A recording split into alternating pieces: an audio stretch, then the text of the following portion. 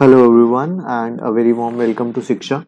So, guys, this is 10th lecture for agriculture static MCQs and इसके अंदर हम 10 MCQs discuss करेंगे। Very very very important for all the agriculture based examinations and अगर I B P S F O का mains देने जा रहे हो इस बार तो डेफिनेटली एक अच्छा रिविजन सोर्स आपके लिए बन जाएगा।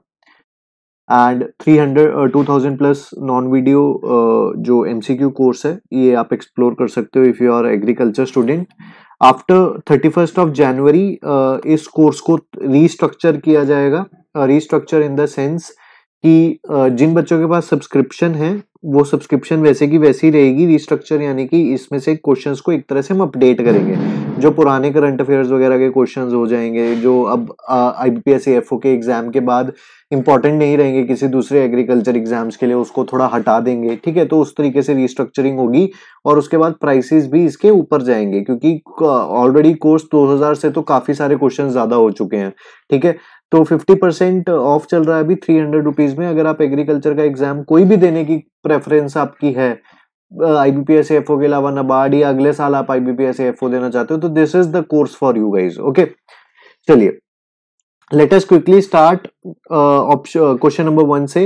Toda is a breed of Toda किस एनिमल का ब्रीड है? Option A is sheep B goat C cattle D buffalo या E none of the above बहुत बेसिक सा क्वेश्चन है, बहुत जनरल सा क्वेश्चन है ये टोडा के ऊपर। तो पता होना चाहिए, देखो वेरियस ब्रीड्स वगैरह आपको सारी पता होनी चाहिए एनिमल्स की जो जो होती हैं, ठीक है? आपके कैटल बुफेलो गोट चिकन वगैरह के अंदर तो। तो टोडा जो है दोस्तों ये किसका वेराइटी है आपका? ये बेसिकली आपका बुफेलो का वेराइटी है ओके सो बुफेलो वेराइटी है एंड ये एक ट्राइब के नाम पे इसका नाम पड़ा है टोडा। ये टोडा ट्राइब ना आपको नीलगिरी हिल्स के अंदर मिलता है साउथ इंडिया में जो बेसिकली आपके तमिलनाडु केरला वगैरह वाला जो स्टेट्स है वहाँ पर आ, आ, ये ट्राइब जो है हैबिटेट करता है। उसी एरिया में ये बुफेलो है तो वहीं से ये नाम ये टोडा निकल करके आया। सेमी वाइल्ड ब्रीड है ये। अगर आप इसकी बॉडी देखेंगे तो थिक हेयर कोट मिलेगा। पूरी की पूरी बॉडी जो है वो कवर्ड रहेगी हेयरी रहेगी। बॉडी लंबी होती है एंड डीप होती है। चेस्ट इज़ ऑल्सो डीप आप देख रहे हैं कि ग्राउंड से काफ़ी क्लोज है और लेग्स इसके शॉर्ट होते हैं इसी वजह से बट स्ट्रॉन्ग होते हैं। एवरेज मिल्क यील्ड के लिए बहुत ज़्यादा नहीं जानी जाती। सिर्फ़ 500 सौ पर लैक्टेशन का इसका एवरेज मिल्क यील्ड रहता है। फैट कंटेंट हाई होता है। आठ परसेंट का इसके अंदर अराउंड फैट कंटेंट होता है। तो मेनली क्वेश्चन आपने ये याद रखना है कि एक तो बुफेलो का ब्रीड है। मिलता कहाँ पर है, ये भी याद रख लीजिएगा। इसके ऊपर कई बार क्वेश्चन पूछ लेते हैं। एवरेज मिल्क यील्ड के ऊपर क्वेश्चन पूछ लेते हैं। फैट कंटेंट के ऊपर क्वेश्चन पूछ लेते हैं। तो ये चार फैक्ट्स अच्छे से याद रखिएगा। नेक्स्ट आ जाएँगे। सेकंड क्वेश्चन के ऊपर आ जाओ। सॉल्टेड मीट जो होता है पिग का, उसको क्या बोलते हैं? Option A bacon B beef C pork D ham E none of the above अब मेरा ये मानना है दोस्तों कि अगर कोई एग्रीकल्चर के पेपर दे रहा है नबार्ड है आईबीपीएस एफ़ कोई भी है, और ज़रूरी नहीं है कि आप एक एग्रीकल्चर के ग्रेजुएट हो, ठीक है? अगर आप नबार्ड का पेपर दे रहे हो जनरल से ज़रूरी नहीं है कि आप एक एग्रीकल्चर के ग्रेजुएट हो। लेकिन अगर आप एक सीरियस कैंडिडेट हो, आप अगर अपने एग्ज़ाम को लेकर के सीरियस हो तो ये क्वेश्चन ना आता हो, ऐसा नहीं होना चाहिए, ठीक है? जेन्युनली ये बात है। सिंपल क्वेश्चन है संडे ट्रीट वाला क्वेश्चन है। आंसर यहाँ पर क्या होगा बेटा? सॉल्टेड मीट जो है वो बैकन होता है। देखो बीफ आपको पता है कि बीफ तो बेसिकली जो कैटल मीट होता है उसको बोलते हैं, ठीक है? पॉर्क के बारे में भी आप जानते हो कि अगेन ये मीट ऑफ़ पिगी होता है बट सॉल्टेड नहीं होता ओके सो इस तरीके से आपको इतनी बेसिक नॉलेज तो रहेगी अगर आप एक सीरियस कैंडिडेट हो एग्रीकल्चर के। नेक्स्ट आ जाओ जी two humped camel is also known as. Two humped camel, और किस नाम से जाना जाता है? बेसिकली बॉटनिकल नेम यहाँ पर गिवन है। कैंटिलस बैक्टीरियनस कैनुलस लेमर सी ड्रोमिडेरियस ठीक है जी तो आपको बताना है कि इसमें से टू हम्ड कैमल का बॉटनिकल नेम क्या है। The right answer over here is option A कैंटेलस बैक्टीरियस हम्प क्या होता है बेसिकली बेटा? ये जो पार्ट होता है ना, इसको हम हम्प बोलते हैं। ठीक है कैटल के अंदर भी होता है कैमल के अंदर जनरली आपको देखने को मिलेगा कि एक सिंगल हम्प होता है, ठीक है? लेकिन ये जो कैंटलस बैक्टीरियस जो स्पीशीज है, इसके अंदर आपको इस तरह के दो हम्प मिलेंगे तो इसको टू हम्प्ड कैमल भी बोला जाता है। नेक्स्ट क्वेश्चन के ऊपर आ जाओ। Pruning is an essential part in cultivation of basically जो वेरियस टर्म्स एसोसिएटेड हैं डिफरेंट क्रॉप्स के साथ, वो अच्छे से करी हुई होनी चाहिए आपकी। तो प्रनिंग बेसिकली किस क्रॉप के अंदर प्रैक्टिस की जाती है? अगेन सिंपल क्वेश्चन है। ये जितने क्वेश्चन हैं बेसिक क्वेश्चन हैं जनरल क्वेश्चन हैं सिंपल क्वेश्चन हैं। So the right answer here is option D tea basically plucking या प्रनिंग क्या होता है, जिसके अंदर आप जो प्लांट होता है, उसके अंदर अमेंडमेंट लेकर के आते हो। या ट्री होता है, उसके अंदर अमेंडमेंट लेकर के आते हो। ठीक है? प्लकिंग एंड प्रनिंग क्या होता है? जैसे फॉर एग्जांपल आपने शॉर्टनिंग करनी है ट्री की, या अनवांटेड ब्रांचेस को कट करना है है ना? तो प्रनिंग टी के अंदर की जाती है ताकि टॉप ग्रोथ को लिमिट किया जा सके। हम नहीं, देखो टी गार्डन में हम नहीं चाहते कि बहुत ऊँचे ऊँचे जो प्लांट्स हैं वो डेवलप हो, ठीक है? तो हमें उसको, उसकी टॉप ग्रोथ को हम रिस्ट्रिक्ट करना चाहते हैं। ताकि बुश जो है, जो मेन पार्ट है प्लांट का, जहाँ से हमें टी लीव्स मिलनी है, उसकी ग्रोथ स्टिमुलेट हो ओके इसलिए हम टॉप पार्ट को कट कर देते हैं ताकि जो न्यूट्रिएंट है, उसकी वेस्टेज ना हो। फिफ्थ क्वेश्चन के ऊपर आ जाओ फटाफट से। From where did India introduce cultivation of tobacco, tapioca and pineapple? Introduction of crops एक बहुत इंपॉर्टेंट फैक्चुअल टॉपिक है कि हमने अलग अलग क्रॉप्स कहाँ से इंट्रोड्यूस किया आईबीपीएस एएफओ में बहुत बार क्वेश्चन पूछा हुआ है। ग्राउंडनट के ऊपर क्वेश्चन पूछ लिया था कि इंडिया में ग्राउंडनट कब इंट्रोड्यूस किया गया था। ये क्वेश्चन पेपर में एक बार आया आईबीपीएस एएफओ में। सो ऑप्शन ये रहे. Option A Pacific island B Africa C South America D Portuguese या E none of the above ठीक है जी? From where did India introduce cultivation of tobacco अब अगर देखो, यहाँ पर तीन क्रॉप्स गिवन है। हो सकता था कि वो एक ही क्रॉप भी दे देता। तीन क्रॉप दे दी तो थोड़ा सा आसान हो जाता है कि भाई, अगर बाकी दो क्रॉप्स के बारे में नहीं भी पता और एक क्रॉप के बारे में पता, तब भी आप गैस कर देते हो। बट ज़रूरी नहीं है कि वो वहाँ पर तीन या चार क्रॉप्स देगा। वो एक सिंगल क्रॉप भी दे सकता है। यहाँ पर अब आपका सही आंसर क्या होगा? The right answer here is Portuguese Portuguese is the right answer जो बेसिकली टोबैको टेपियोका और पाइनएप्पल की कल्टीवेशन इंडिया में इंट्रोड्यूस हुई है। ठीक है? वेरियस क्रॉप्स पोर्टुगीज इंडिया में लेकर के आए थे। उसमें आपका cashew nut tobacco tapioca pineapple papaya ये मेन क्रॉप्स हैं। एंड बेसिकली कोकोनट कल्टीवेशन के अंदर भी पोर्टुगीज काफ़ी चेंजेस लेकर के आए।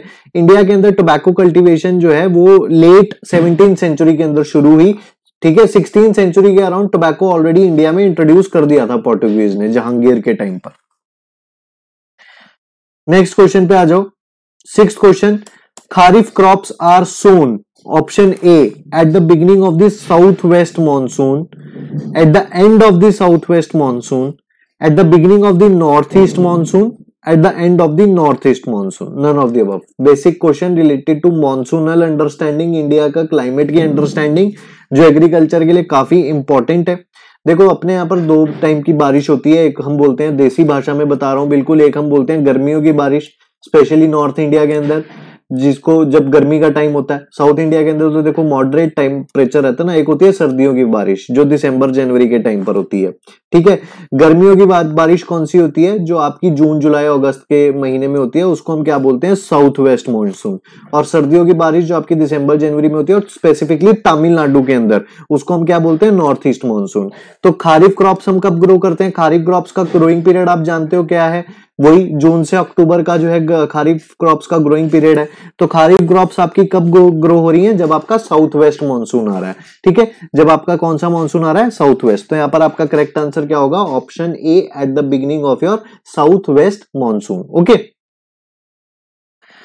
All right. So Kharif crops refer to planting, cultivation and harvesting of any domesticated plants sown in the rainy season on the Asian subcontinent.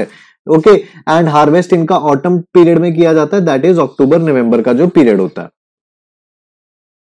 Seventh question के ऊपर आ जाओ जी which among the following is the main spice producer India के अंदर spice producer आपको majorly कौन सा area या कौन सा रीजन है? अब देखो, यहाँ पर स्टेट नहीं गिवन है, यहाँ पर रीजन गिवन है।